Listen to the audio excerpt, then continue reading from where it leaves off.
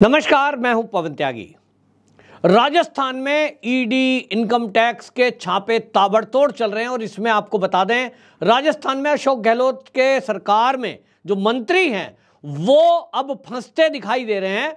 लगातार income tax जब छापेमारी करता है तो उसको ऐसी अनियमितता मिलती है कि जवाब नहीं दे पाते और इसके कारण से फिर ईडी को केस ट्रांसफ़र होते हैं। और आपने पिछले दिनों देखा कि जिस तरह से ईडी की छापेमारी राजस्थान में हुई और वहाँ से करोड़ों रुपए का कैश, सोना, चांदी बरामद हुआ, ये बता रहा है कि राजस्थान में अशोक गहलोत सरकार में किस तरह से घोटाले हुए हैं। पेपर लीक घोटाला अपने आप में एक इतना बड़ा घोटाला है कि राजस्थान में जो मंत्री हैं जो विधायक हैं, उन्हीं के निकट सहयोगी कोचिंग सेंटर चलाते हैं और कोचिंग सेंटर वालों को ये पेपर लीक कर दिया जाता है मोटी कीमत लेकर। इस पर अभी ईडी की छापेमारी हुई है, लेकिन अब जो है, राजस्थान में जो अशोक गहलोत हैं, उनका खासम खास एक मंत्री हैं उदयलाल। उदयलाल के ठिकाने पर इनकम टैक्स ने रेड की है और उस रेड में बाकायदा मुंबई की टीम आई थी।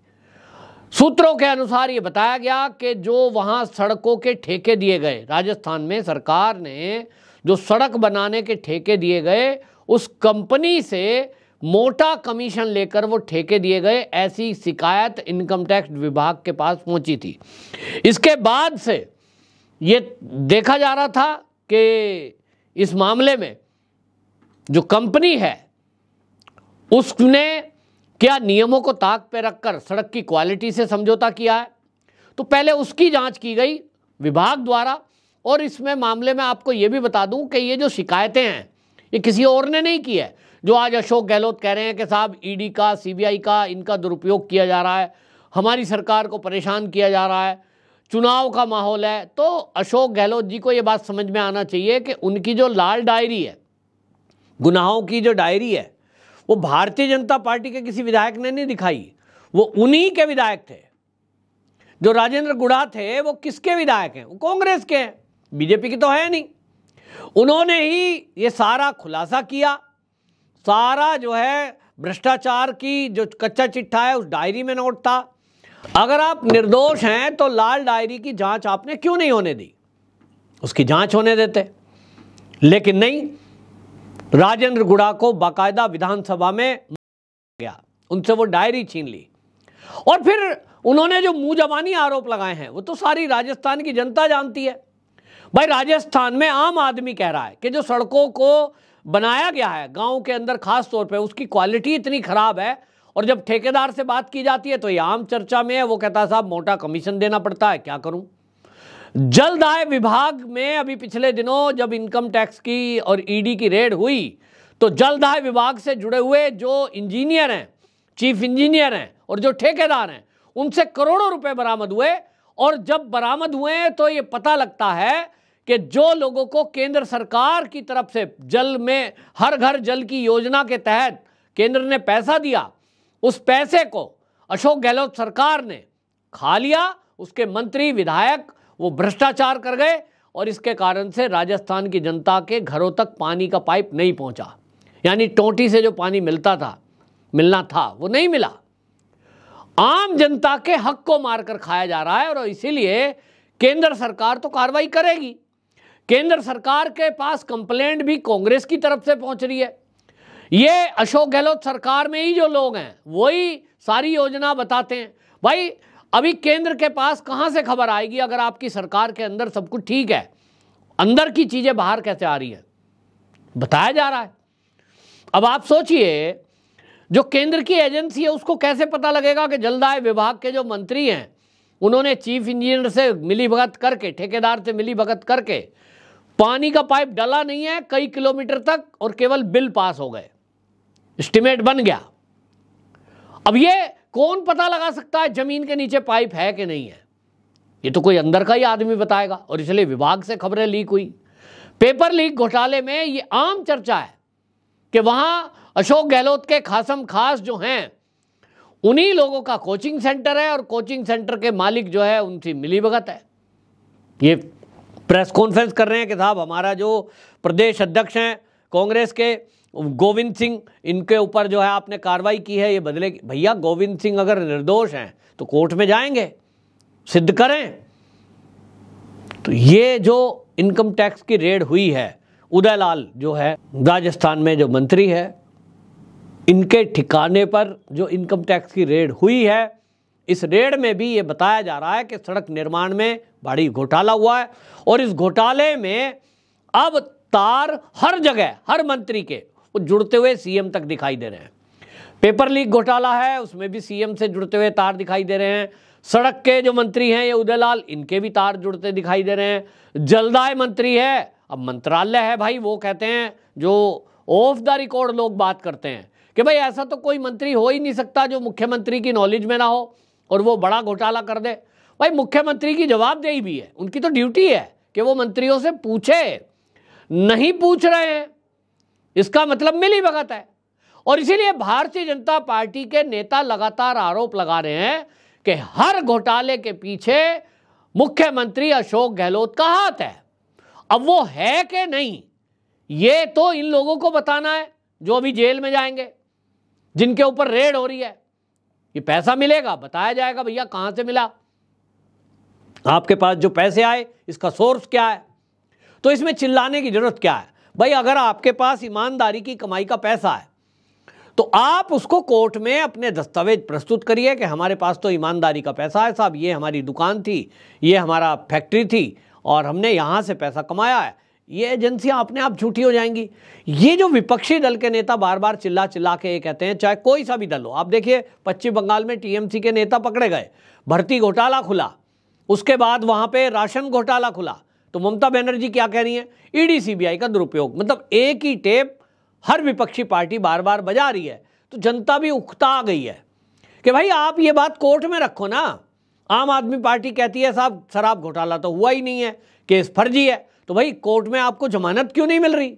ये जज साहब को नहीं समझ में आ रहा कि केस फर्जी है। उनको क्यों ऐसा लग रहा है कि बार बार ईडी जो सबूत दे रही है, उन सबूतों में दम है और उसके आधार पर इनको जमानत नहीं देनी चाहिए? इसी तरह अशोक गहलोत सरकार फंसती हुई दिखाई दे रही है।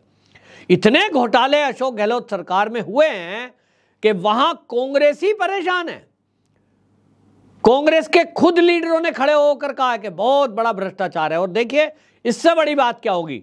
जो मुख्यमंत्री के दावेदार हैं, सचिन पायलट, वो तो भाई पार्टी आला कमान माने गांधी परिवार के भी निकट हैं।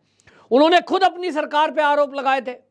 तो अशोक गहलोत जो सफ़ाई दे रहे हैं, जो बीजेपी पे इसका आरोप पड़ रहे हैं, उनसे सवाल है कि भाई अगर भारतीय जनता पार्टी आप पे फर्जी आरोप लगा रही है तो आपने डिप्टी सीएम बना के रखा था सचिन पायलट, वो अपनी सरकार पे क्यों आरोप लगा रहे थे? वो तो बीजेपी के नहीं है। राजेंद्र गुड़ा ने जो आरोप लगाए, वो तो बीजेपी के नहीं है। तो भाई आप अपने ही नेताओं को समझाओ ना। अगर अपनी सरकार पर खुद वहाँ के नेता, कांग्रेस के नेता आरोप लगा रहे हैं तो सोचिए फिर बीजेपी वाले गलत कैसे हो गए? फिर इनकम टैक्स क्यों ना रेड करे? फिर ईडी क्यों ना छापे के लिए आए? भाई आप खुद निमंत्रण दे रहे हो ना? खुद आप कह रहे हो हमारी सरकार में घोटाला है, जाँच करो। और इसीलिए, अब एक बात है जो ये घोटाले घपले सब खुल रहे हैं, ये अलग बात है कि चुनाव का दौर है। ये आप कह सकते हो साहब चुनाव का टाइमिंग आप देखें। तो भाई ये तो राजनीति है। भारतीय जनता पार्टी की कोई परचून की दुकान थोड़ी है। भारतीय जनता पार्टी पे ये नेता कहते हैं, आप राजनीति कर रहे हैं। भैया, वो राजनीतिक दल है। राजनीति करेगा। आप कैसी राजनीति करते हो कि जब भी चुनाव आते हैं, आप कभी हिंडनबर्ग ले आते हो, कभी नोटबंदी ले आते हो, कभी राफेल में घोटाला हुआ है बोलते हो तो आप तो झूठी और गंदी राजनीति करते हो, जिसमें देश का भी नुकसान है। भारतीय जनता पार्टी केवल सच की राजनीति कर रही है। वो कोई ऐसे झूठे आरोप तो नहीं लगा रही ना अशोक गहलोत पे, कि अशोक गहलोत ने फलाना चोरी की है। बड़ा संभल कर बोलते हैं। बीजेपी के नेता क्या बोल रहे हैं? अशोक गहलोत जी से भी तार जुड़े हुए हैं। इनकी जानकारी में ये घोटाला है। वो ये नहीं कह रहे कि अशोक गहलोत ने घोटाला किया है। मैं ये दिल्ली के मामले में भी कहता हूँ और ये मैं राजस्थान के मामले में भी कह रहा हूँ कि अगर केंद्र सरकार और भारतीय जनता पार्टी ईडी और सीबीआई का दुरुपयोग कर रही है, तब फिर वो दिल्ली में अरविंद केजरीवाल के ऊपर रेड क्यों नहीं करती? सीधा सीधा छापा करे, जेल के अंदर डाल दे। अगर फर्जी केस लगाना है तो केजरीवाल को सबसे पहले पकड़ना चाहिए, क्योंकि आम आदमी पार्टी के हेड तो वही हैं। इसी तरह राजस्थान में अगर बदले की भावना से ईडी सीबीआई को लगाया गया होता तो सबसे पहले अशोक गहलोत को पकड़ते, फर्जी केस लगाते, जेल में डाल देते, जेल में डाल देते तो बाकी नेता तो फिर अपने आप ही सरकार भी टूट जाती है अभी तक। जो सचिन पायलट कोशिश कर रहे थे, उस कोशिश में भारतीय जनता पार्टी की तरफ़ से तो ये सहयोग हो सकता था। अशोक गहलोत को पकड़ के जेल में डाल देते, सचिन पायलट ताक में थे, वो बाड़ाबंदी जो कर रहे थे, नहीं कर पाते। अशोक गहलोत और सचिन पायलट सीएम बन जाते, बीजेपी के साथ मिलकर। लेकिन भारतीय जनता पार्टी ने इस तरह की राजनीति कभी नहीं की। जोड़ तोड़ की राजनीति कभी नहीं की, वरना कब की राजस्थान के अंदर वो सरकार बना लेते। मध्य प्रदेश वहाँ महाराष्ट्र में हुआ है। क्यों हुआ है? क्योंकि वहाँ उद्धव ठाकरे ने खुद ही शिवसेना की विचारधारा छोड़ दी, उद्धव ठाकरे जी की विचारधारा छोड़ दी, हिंदुत्व के मुद्दे छोड़ दिए और उस कांग्रेस से हाथ मिला लिया जिसको बाला साहब ठाकरे जीवन भर गालियाँ देते रहे। तो शिव सैनिक नाराज़ हुए। शिव सैनिकों के आक्रोश के कारण अलग हुआ। आप भारत में एक भी उदाहरण ऐसा नहीं बता सकते, जहाँ भारतीय जनता पार्टी ने जोड़ तोड़ करके अपनी सरकार बनाई हो। खुद ही अगर आक्रोश किन्हीं पार्टियों में है तो उसका बीजेपी क्या करेगी? लाभ ना उठाए। बीजेपी कोई साधु संत, सन्यासी थोड़े ही है सारे। राजनीतिक दल के नेता है। और इसलिए बौखलाट दिखाई देती है अशोक गहलोत की।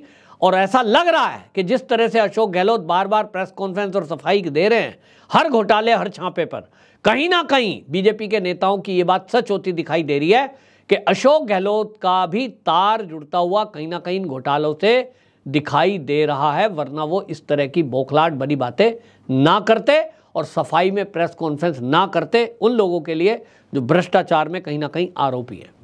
आपकी क्या राय? कमेंट बॉक्स में ज़रूर बताएँ। बंदे मात्र